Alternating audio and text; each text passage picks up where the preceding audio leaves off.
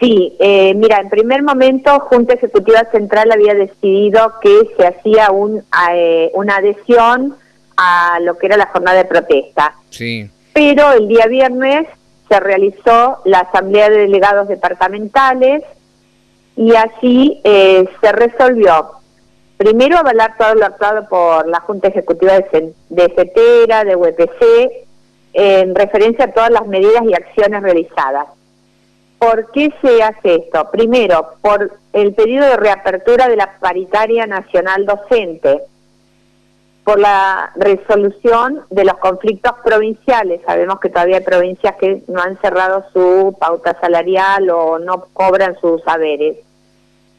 La continuidad del FONID, que el año en el año 2019 probablemente no esté más, no no esté más y y que representa un 8% para un maestro inicial en nuestra provincia, o sea, sería una baja importante, ¿no?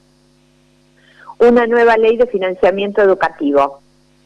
También rechazo al acuerdo al, FM, al que se realizó con el FMI, que esto nos endeuda por mucho tiempo, al cierre de los planes y programas socioeducativos, porque ya, por ejemplo, Conectar Igualdad, donde se entregaban las eh, netbook a los alumnos y demás, pasó a ser eh, aprender conectados, pero solamente va a estar la red para, para estar conectados, no van a llegar más este, las computadoras y demás. Lo mismo el programa de formación docente, que este año ya se hizo cargo la provincia, porque si no, no estaba más eh, al cierre de los institutos de formación docente y de formación técnica, a los tarifazos que obviamente nos eh, influyen en lo que es nuestro sueldo, en la baja en el poder adquisitivo, cada cosa, cada aumento, cada aumento del dólar, obviamente que como trabajadores nos afecta.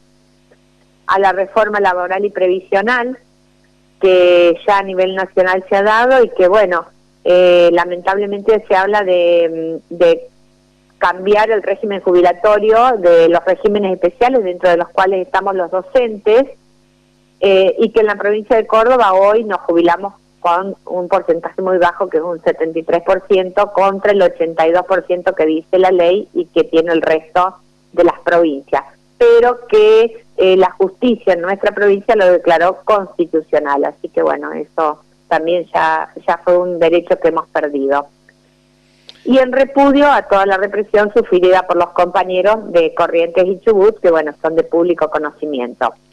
Por todos estos puntos, en el punto 2 dice adherir al paro y jornada nacional de protesta dispuesto por CETERA para el día 3 de julio, con la movilización en la ciudad de Buenos Aires.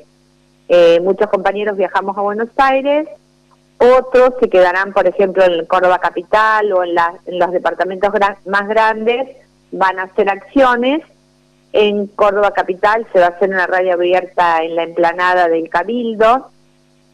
Y bueno, este, recomendar también a la Secretaría de Derechos Humanos y Género actividades, talleres, encuentros sobre ciertos temas que se están tratando hoy. Eh, Graciela, esto sería un paro sin concurrencia a los lugares de trabajo. Sí, sí, sí, sí. Primero iba a ser una jornada de adhesión, pero el viernes salió el paro sin asistencia a los lugares de trabajo.